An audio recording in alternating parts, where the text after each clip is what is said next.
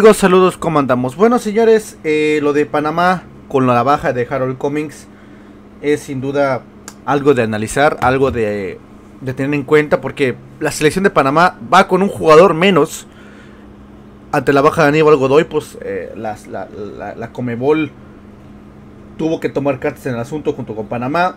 Panamá decidió apelar y decidió pues llamar, ¿no?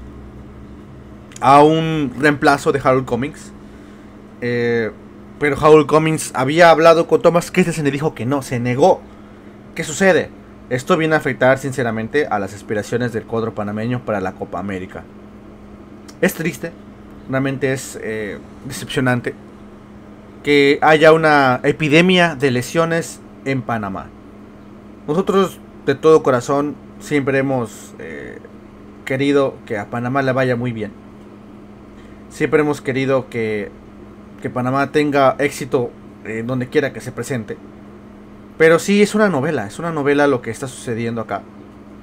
Porque se vuelve un show, se vuelve algo que no es profesional.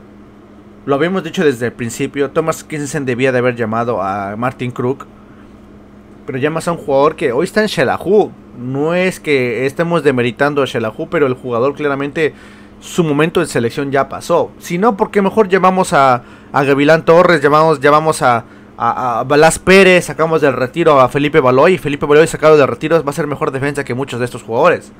La patria, el honor. Hay. Yo no quiero ser negativo. Yo no quiero ser una persona que venga a incendiarlo. Pero Christensen está tomando varias decisiones que se sorprenden. ¿Será que es algo de desesperación? Que no esperaba que todos sus soldados, todos sus capitanes se cayeran. Puede ser, ¿eh? Puede ser una acción desesperada. Puede ser que no había plan de contingencia. Pero es profesional. Se está pasando, se está trayendo por encima las aspiraciones de un pueblo panameño que quiere gloria, que quiere gloria continental, ¿no? Vamos a hablar de esto, de cómo Panamá, pues, eh, tiene un show el show de Harold Comics y Panamá y cómo pues va con un jugador menos en la Copa América. Y esto puede ser un, duro golpe al fútbol panameño, puede ser un duro golpe a lo que representa Panamá. Y un grupo tan complicado en el debut contra la selección de, Uruguay que no pinta para nada alentador, ¿no? Y ojalá, miren, yo de todo corazón quiero que Panamá haga historia, que es un representante de CONCACAF. Yo como mexicano voy a apoyar a CONCACAF, excepto Costa Rica. Costa Rica ojalá que pierda todo y Estados Unidos también que pierdan todo. Lo demás, que Jamaica lo haga muy bien, que Canadá lo haga muy bien, que Panamá lo haga muy bien y que México también gane la copa o sea campeón. Yo también que Panamá gane la copa, pero ojalá que los hermanos panameños eh, tengan una buena participación.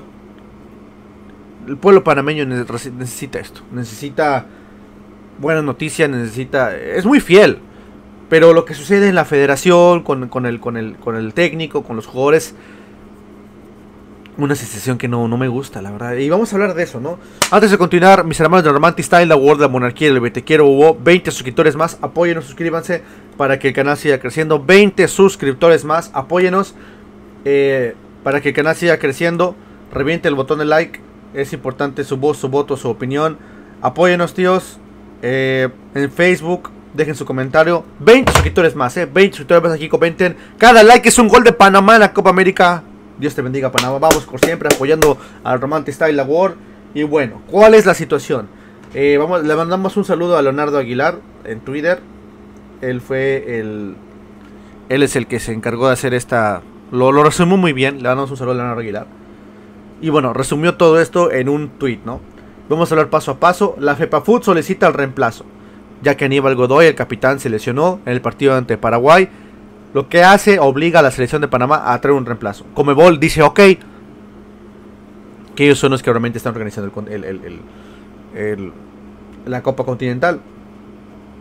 Christensen habla con Harold Cummings y él aceptaría la Copa América. Ojo que Harold Cummings ya tiene arriba de 30 años, ya es veterano, ya no es un joven, ya no es un jugador que, que hoy esté en la élite competitiva, hay que decirlo. No, ya está en el ocaso de su carrera. Y eso es lo que tú recibes cuando llamas a un jugador ya de, de experiencia, pero que está la, terminando su carrera. Era llamar a Martin Cook. Tan difícil era. Bueno, bueno. Primer error de Thomas Christensen. Segundo, se le comunica al club y ellos lo publican. Se le comunica a Shelahu y Shelahu lo publica. Se envía el formulario de cambios a Comebol, se envía la solicitud. El jugador dice, no voy. No. Harold Cummings dice, no voy. La Federación de, de Fútbol de Panamá ya no puede convencer a nadie más, ya no puede convocar a nadie más porque se cerró el plazo y queda con 25 jugadores. De 26 jugadores.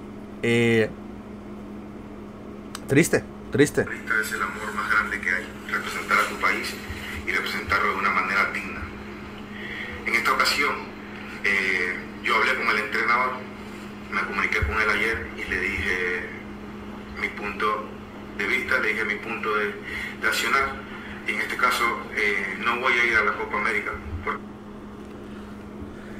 ¿Cómo dice que no va a la Copa América? No estoy al nivel de la Copa América, no estoy a nivel para representar a mi país y tengo que ser consciente conmigo mismo. Primero tengo que ser consciente.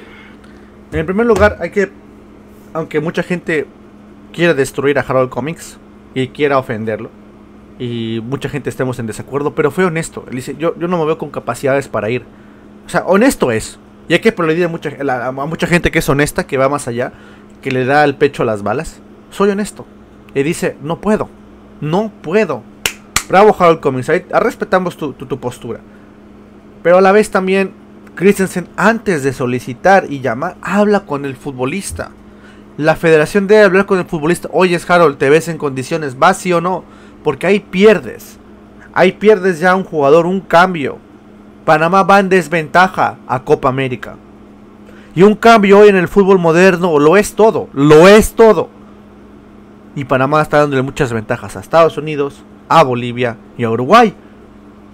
Es un rival que hay que decirlo. Si tuviese su cuadro A Panamá, daría mucha batalla. Pero hoy es una mezcla de un cuadro B, C o D.